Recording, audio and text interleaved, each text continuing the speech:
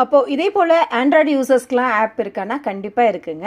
நம்மளுடைய ப்ளே ஸ்டோரில் போயிட்டு பேப்பர் காப்பின்ற ஒரு ஆப் இருக்கும். அதை இன்ஸ்டால் பண்ணிவிட்டு ஓப்பன் பண்ணிங்க அப்படின்னா உங்களுடைய பிக்சர்ஸ் டவுன்லோட் ஆன பிக்சர்ஸை நீங்கள் செலக்ட் பண்ணிக்கலாம். செலக்ட் பண்ணதுக்கப்புறம் உங்களுக்கு ஒரு டிப்ஸ் அதாவது அக்சஸ் டிப்ஸ் உங்களுக்கு கொடுத்துருக்கோம். அதை ஓகே காட் இட் நீங்கள் கொடுத்துருங்க.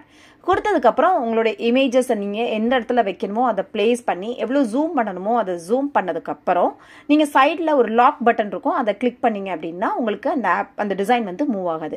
இதே இதை வந்து சைடில் வால்யூம் இன்க்ரீஸ் டிக்ரீஸ் பட்டனை யூஸ் பண்ணியும் நீங்கள் ஆப்பை மூவ் பண்ணாமல் I mean lock and release same ப்ராசஸும் அந்த பட்டன்ஸை வச்சு நம்ம பண்ணிக்கலாம். இந்த மெத்தடை வச்சு நீங்கள் எந்த ஒரு பிரிண்ட் அவுட்டும் இல்லாமல் ஜெராக்ஸ் இல்லாமல் ஈஸியாக நீங்கள் நினைக்கிற பிக்சர்ஸை உங்கள் மொபைலை யூஸ் பண்ணி ஈஸியாக ஃபேப்ரிக்கில் ட்ரேஸ் பண்ணிக்கலாம்.